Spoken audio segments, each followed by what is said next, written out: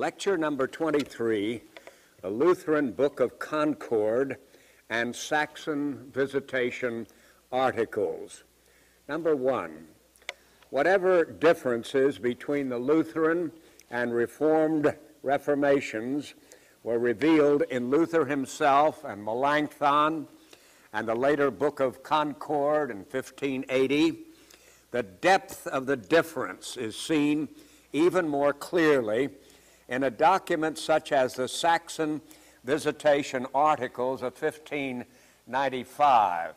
Now, we didn't take much time for this as we were moving through, but um, there was some indication of the fact that Luther had a close relationship with the state, and that Frederick the Wise had rescued him from a probable execution after the decision at the Diet of Worms and protected him, and so on. But uh, Luther did rely on the help which the state gave him.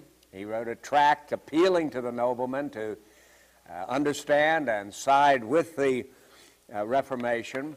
And so, from uh, the beginning, in a sense, even though something in the writing would indicate that Luther was inclined, uh, church governmentally, the way Calvin was, Lutheranism, nevertheless, because of the exigencies of the situation, developed a very close relationship with the state.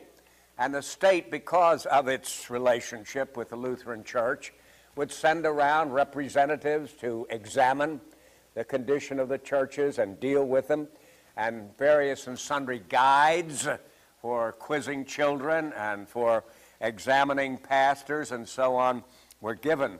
My late father in law used to like to tell about the representative who would call in a certain area to quiz the children on the catechism. And because the catechism was to be the subject of examination and they knew what the catechism questions were, they would divide them among themselves. You take this group, you take this group, and so on. And when the examiner would come, of course, and would ask the question, the person whose question it was would answer promptly and very accurately and very impressively. But one of the visitors was a little too shrewd to be taken in by that maneuver, and instead of just asking the question, my father in law said he designated the answerer and said, Why do you believe in God? And the young man whose question it was not immediately stood up and said, The fellow who believes in God sits over there. Well, there were more serious examinations than that uh, for the pastor. These Saxon visitation articles of 1595 were a typical guide. Number two is a typical guide for Lutheran officials by which they were to examine Lutheran adherents and ministers in various localities in Saxony, where Lutheranism was well nigh universal. Three, in addition to the usual and to be expected differences concerning the Lord's Supper, one sees a systemic difference that explains why many old Lutherans, as they're called, came to regard Calvinism as a form of fatalism worse than heathenism or Islam. See, these questions uh, were afraid of what we called the last time crypto Calvinism secret Calvinism, Calvinism which was creeping into Lutheran areas without being detected. It was, it was uh, felt. Remember, uh, Luther was a great champion of what was called reine Lehre, pure doctrine. And those who followed in his train gave the same notable adherence to that very admirable uh, formula. The Calvinists were just as committed to pure doctrine growing right out of, of the Word. But since there was difference, some difference, between Lutheran interpretation of the Bible and what was therefore reine Lehre and Reformed interpretation, manifestly there would be differences. And what one group would call reine Lehre, the other would consider very unpure impure teaching. And these, uh, as I say, uh, any idea that uh, consubstantiation was not uh, the truth, or that any words indicating merely the dynamic view, would be warned against. A part of the visitation articles uh, indicate what the Calvinists say vis a vis the Eucharist and why that's wrong and to be avoided and so on. Well, that doesn't surprise anybody. We know that that's exactly the Eucharistic doctrine which Luther held and the Lutheran tradition with him. And while Melanchthon may have vacillated a little on that, Lutheranism didn't. But there were other uh, doctrines uh, which was distinguishing the Reine Lehre of pure uh, Lutheranism to the very impure doctrine of the uh, Calvinists, besides this matter of the Lord's Supper. And as I say, the people who held to that, in spite of certain changes, got to be known as the old Lutheran, the one who wouldn't move at all from what they understood to be the teaching of Martin Luther and were very sensitive to any uh, changes, however subtle, and regarded any change as very, very serious, denuding the power of the gospel and actually introducing heresy at that particular level. Now, as I say, that error we knew the Puritan, and the Lutherans would uh, look askance at and warn against and so on, but they also dealt very specially with this matter of predestination. The Calvinists were seen as adherents of that doctrine, and that doctrine had been clearly repudiated by the Book of Concord in 1580 and was considered a heresy, and a heresy so dire that it was actually construed as fatalism. And consistent with that estimate, the old Lutherans would consider Calvinism as worse than Islam or Judaism or paganism. And they would be right, of course, because Calvinism would be posing, in their opinion, as, ad, as advocating Christianity. And when, as a matter of fact, instead of teaching Christianity, which they professed to believe, they were teaching this pernicious doctrine, they were worse than the Muslims who didn't pretend to be Christian, or the Jews who had broken away from it, or the fatalists who had no religion at all. It may seem dire to those of you who are not familiar with how severe various turns in church history can be to have one Christian calling the other worse than a non Christian. But if you look at it carefully, you would see that would be inevitable.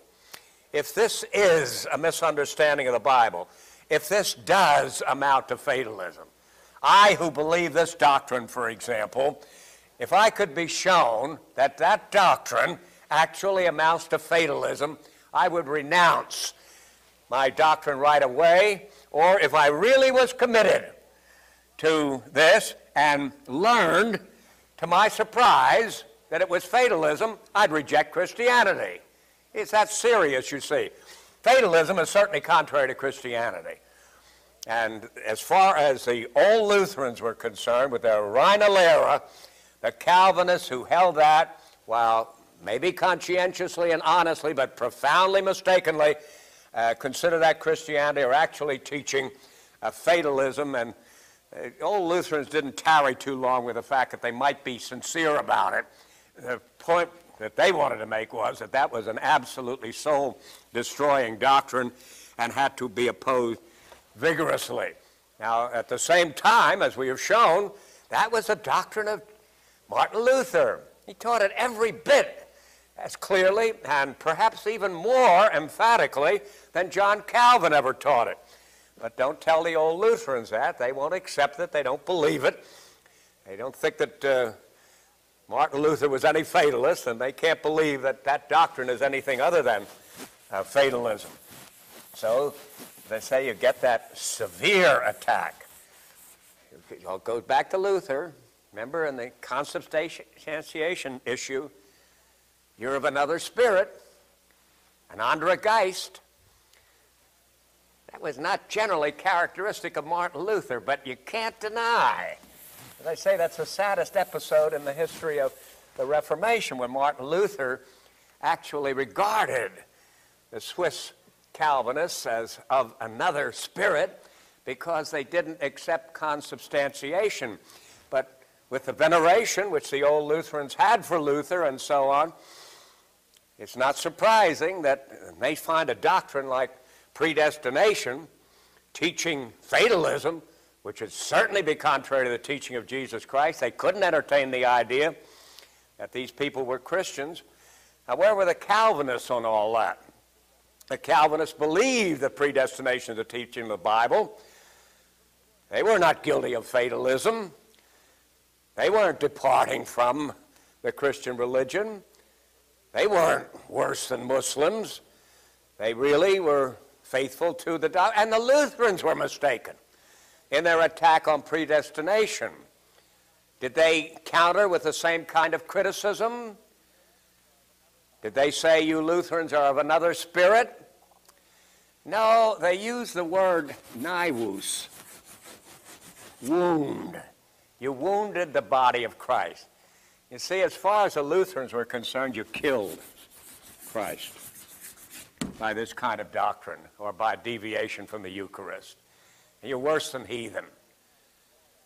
And as I say, if you'd once take that view, you can hardly draw that, avoid drawing that conclusion.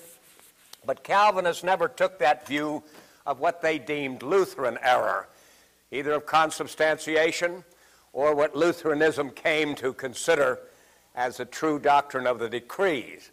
This is wrong, it's serious, and you can't pick up a Reformed treatise of this era which doesn't point out the Lutheran error there, as well as the Lutheran error at the Eucharist and other places and so on. But they nevertheless always regarded them as brothers who made a serious mistake, but they believed that they made it honestly. They really thought that was the doctrine. And there, of course, were Lutherans who felt the same way about the Reform, but many of them were saying, and certainly Saxon Visitation articles were saying, that this is a travesty on the Christian religion. This is worse than heathenism and so on. And make no allowances for the fact that the error may not be as serious as it seems to them, and that the people who perpetrate it may not be haters of Christ, but really lovers of Christ who are endeavoring to do Christ's will, even though the Lutheran would think they had misunderstood. I don't want to suggest that every Lutheran believed that every Calvinist was worse than a heathen, but it was a widespread thing, and it's very definitely canonized in this kind of, uh, of literature here. And I don't want to say that every uh, Calvinist took as less serious a view as the fact that the body of Christ was wounded by the Lutherans, and their error was serious but not fatal. There were Calvinists who, too, would raise the question whether, if you make mistakes like this, you can preserve the Christian religion.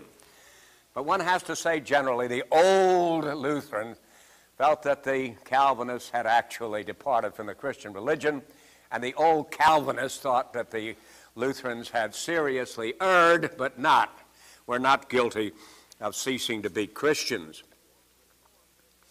Number four, the Reformed championed their differences, but never seemed to have viewed Lutheran error as so grave. They were a wound in the body of Christ, but not a fatal blow. Number five, though Luther himself was an uncompromising predestinarian, not a whit less so than John Calvin, these articles find that doctrine to be profound heresy. Number six, Growing out of the difference between Lutheran and Reformed thinking on the Lord's Supper arose differences in Christology also, because the Reformed deny the corporeal presence of Christ in the supper. They are denounced as restricting Christ to heaven and denying his presence in the Eucharist. That's the way the articles go there, that the Reformed don't think that Jesus is there when you celebrate his death. He's restricted to heaven. These Reformed were saying the body of Jesus Christ can only be at one place at one time. And right now, it's at the right hand of God, the Father in heaven, in what the Reform would call the session. And while the Lutherans would believe that Christ rose bodily, and indeed was, according to the Apostle Creed, seated on the right hand of God the Father Almighty, they came to believe that that body of Christ was actually able to be at many Eucharistic services at one time by what was called ubiquity. They knew they were up against a problem. The Reformed were saying, look, Christ was a true man, and he had a true body, and a true body, by definition, is localized. If it's in heaven, it can't be on earth, or it's not a body. And uh, of course, the Lutherans were aware of that. But somewhat in the spirit of Luther at uh, Marburg, if Christ said such and such, I would know it's true no matter how absurd it sounds and so on.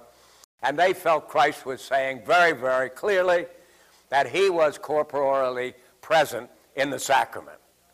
Therefore, even though it sounded like a denial of common sense and every law of physics and so on, to say that his body was in heaven and yet on earth and indeed on a hundred or a thousand sacramental tables and so on, they would say it because they believed Jesus Christ taught it.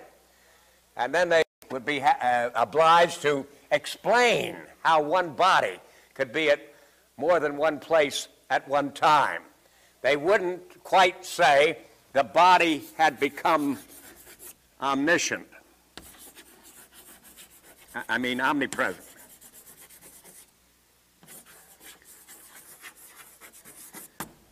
That would be the implication, really.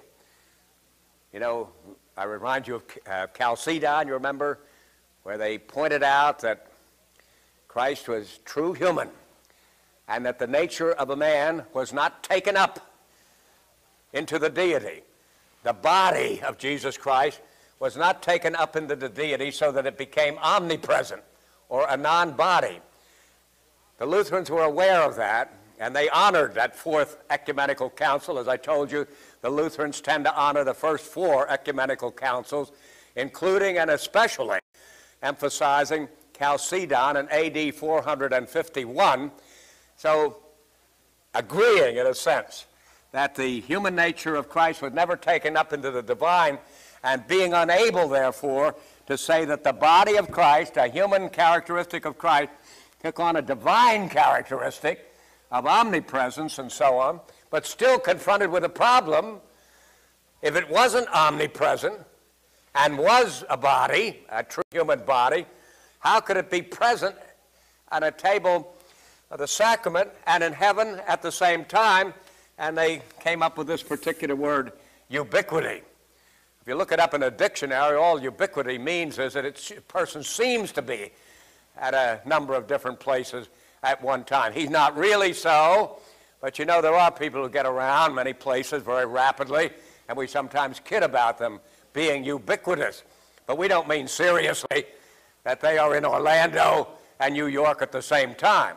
They're in California and in Berlin the same time. Not at all. Ubiquity doesn't, is not a serious uh, geographical concept, and it really can't be a serious theological concept.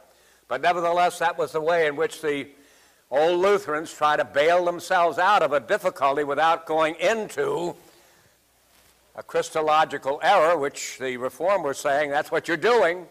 You're using the word ubiquity because you're really unwilling to say omnipresent, but practically what you're saying is that Christ is corporeally omnipresent. But as once as you say that, then you have denied Chalcedon and you've gone into deep Christological heresy.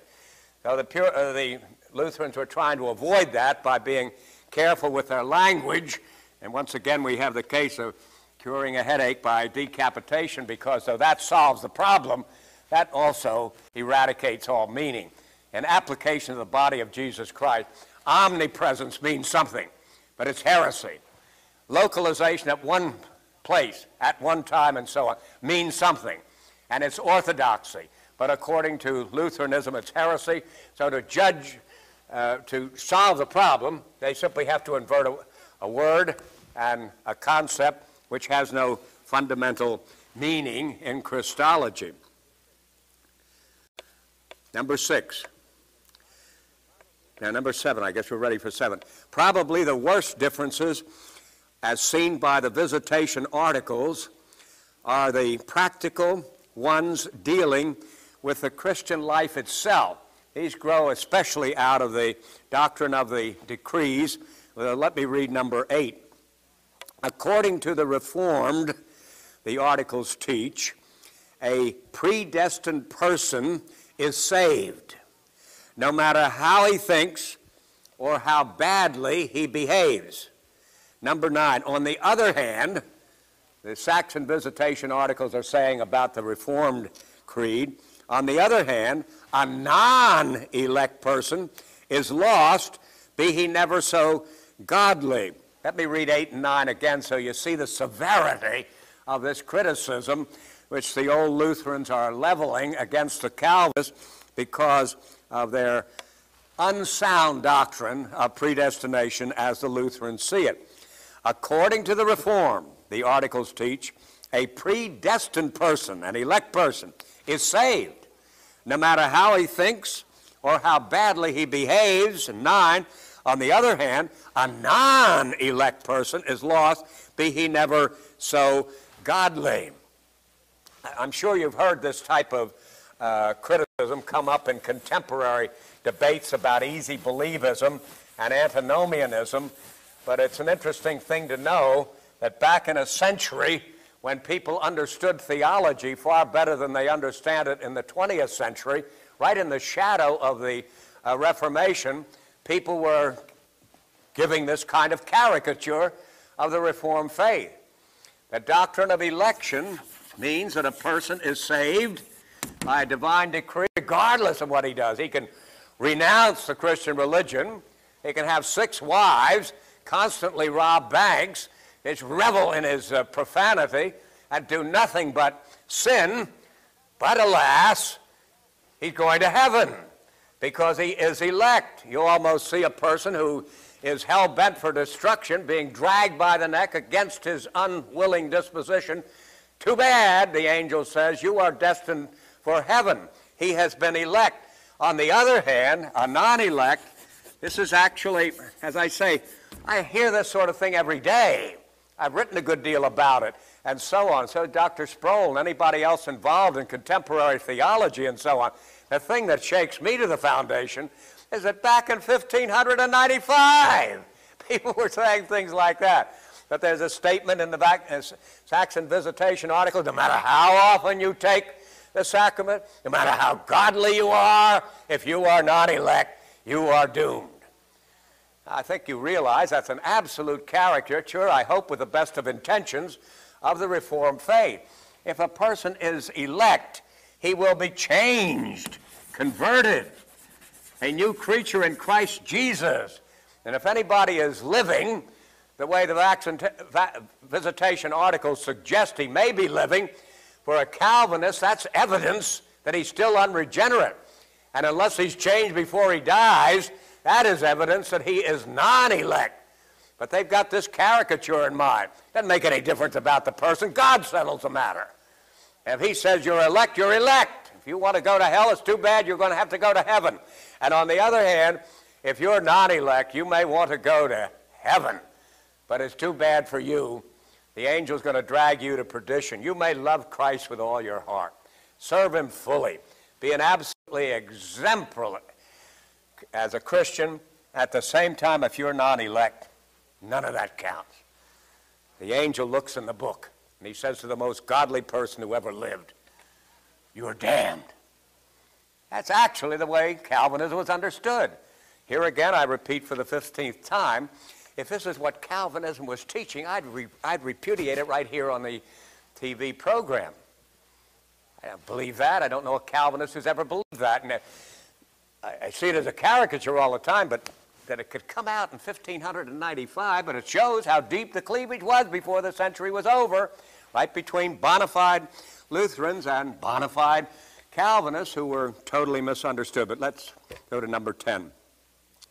Marburg, the colloquy of Marburg I'm referring to now, is being revisited today, not by old Lutherans and old Calvinists, but by new Lutherans and new Calvinists and a new reformation may come out of it. I'm being a bit facetious here and so on, but the kind of uh, efforts at rapprochement that go on in our century, which is notably different from the 16th century. We are almost illiterate theologically in comparison with the 16th uh, century, though there were great lapses, as the one we're considering right now. But as a result of that, most of the dialogue between Protestantism and Romanism is between non Protestants and non Romanists. And of course, they have all sorts of rapprochement and all sorts of solutions and acceptance and agreements and so on, which make the historic debate sound meaningless and irrelevant.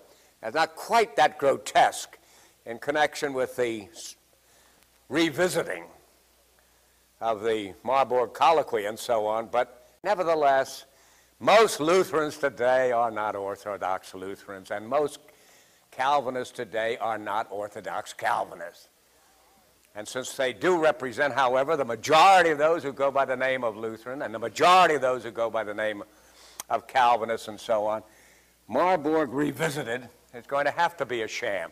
The first volume they brought out shows they've addressed the questions, the kind of questions we're facing here in the Saxon Visitation articles, and they're coming to some sort of an agreement with it, and they'll ultimately agree. But as far as a fundamental examination of the real points of difference and any kind of reconciliation, I can't see any evidence for that, whatever. And though I pray for those movements, I confess I'm not very hopeful about them.